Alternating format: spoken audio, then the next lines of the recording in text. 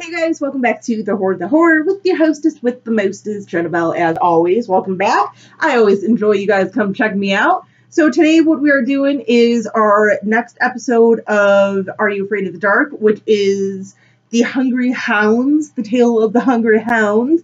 Uh, so The Tale of Hungry Hounds, uh, pretty uh, protocolish of uh, cousin gets dropped off at her cousin's house, is spending a couple weeks of summer there and everything. And of course, it's the Are You Afraid of the Dark universe, so some shenanigans is going to ensue. So basically, it's, uh, sort of like a ghost story, but not quite like the Lonely Ghost uh, story. This one is more of a, a haunted artifact that sort of takes possession, so to speak, of one of the girls, and they go and like figure out what happened in like the past like 30 years before. Um, it's it's a decent little episode. I feel like it's one of the weaker episodes. I still enjoy watching it. I still watch it every once in a while, not as often as some of the other episodes that I truly truly love but it's also not like the weakest episode of the series. There's, I feel like there's other ones that are much much weaker than this. Uh, but no, I mean it's it's a, it's a decent story. Uh, this is one I feel like I would have liked to have seen maybe be done as like a two-parter. I feel like they could have done a little more with the story if it was a two-parter, or even do like a little uh, maybe even like a TV movie out of this story, just because there is something about it that is fun.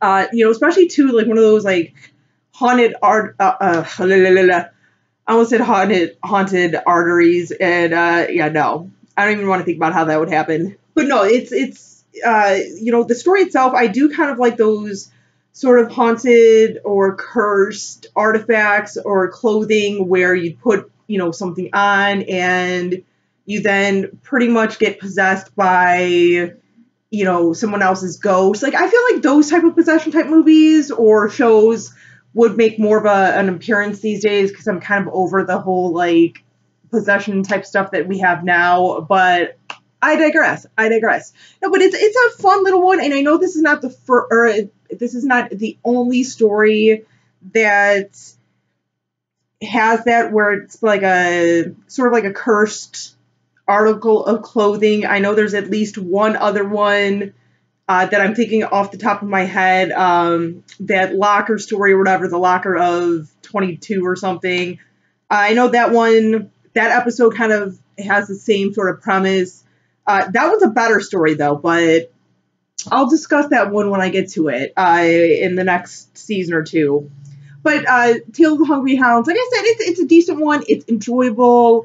Uh, and it's funny because uh, a couple of the couple of the scenes, like at one point, the girls uh, break out this like this Ouija board. And it's funny because on like the little uh, centerpiece, whatever that you put your fingers on, like they put like a piece of like cloth or something over it so he can't like see through the uh the little hole or whatever. I guess they were just kind of like protecting themselves. Obviously someone it was either for sort of like copyright issues because they couldn't actually use like the legit Ouija board piece or I'm thinking the other reason might be is someone on the set or multiple multiple people on the set had too much respect for the Ouija board that they're like we are not bringing any spirits into the world. We don't want to. We don't want to do that, so we're gonna respect it. Uh, but whatever, whatever.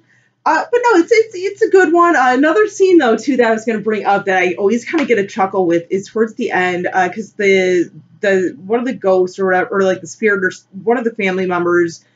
Uh, was killed because obviously because of the hungry hounds she didn't feed the dogs or something and so like the girls are like kind of like living through that moment so like the dogs, you know, they're in the bar and the dogs are coming, are trying to break through, and they finally break through the door. And the girls, the one girl who is not possessed is like running, she's trying to get like to safer ground. And it's funny because it's like the dogs come in here expecting like these big, huge dogs, like St. Bernards or something.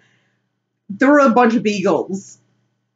Like seriously, like my dog's part beagle, and even when he gets into his crazy Cujo mode, I'm not even that scared of him. Like seriously, Uh, but I mean, it's it's a little Nickelodeon show. It's a little kids show, so I'm not gonna totally nitpick it for that. It is what it is. But yeah, so Hungry Hounds, the Tale of the Hungry Hounds, decent little episode. I would say probably uh, if I had to rate this episode, I'd say it's a bit like a I'd say it's middle road, five out of ten, uh, maybe six out of the ten out of ten out of the highest. Like I said, it's it's one of like the weaker ones for me, one of the weaker episodes, but it's still enjoyable. I will play it every so often. I'll pop it in, watch that episode every once in a while. But certainly, like I said, not my, my not my absolute favors favorite, and it's definitely not the weakest episode of the series. But whatever. But let me know what you guys think of the episode of The Hungry Hounds, The Tale of the Hungry Hounds.